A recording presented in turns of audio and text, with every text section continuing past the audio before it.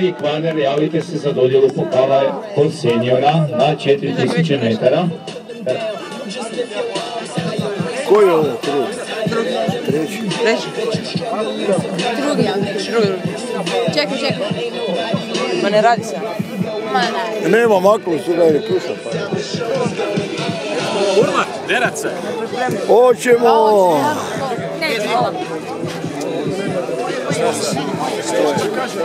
Pazi, smo, sedmi, osmi, pazi ko je prvi, pazi, Srša, drugi je Žilić, treći je Rudolf Kralj, četvrti je tek Gržetić. A gdje je pečat? Koliko imam bodova? Dobili smo ih sa dva boda.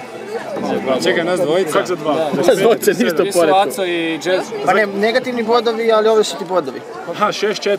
Čekaj, samo gledaj se prvi devet. A ne ste dobili pehar, kakav film ste samo... A gdje vam je pehar? Pehar, gdje vam je pehar? Nisam niš dobili. Ma nismo drugi. Nego? Uopće bilo proglašenje. Razlika.